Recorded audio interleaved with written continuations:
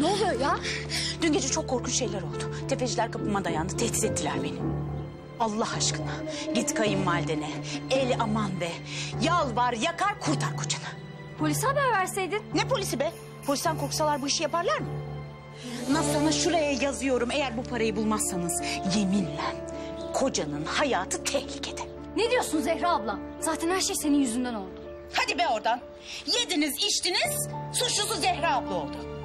Borç para yiyeceğine gidip iş bulsaydı kocan. Allah Allah.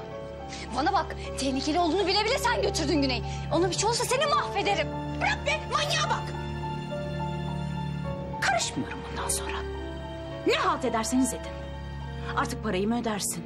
Yoksa adamlar gelir senin kocanın topuğuna mı sıkar? Orasını ben bilmem. Hırçın şey.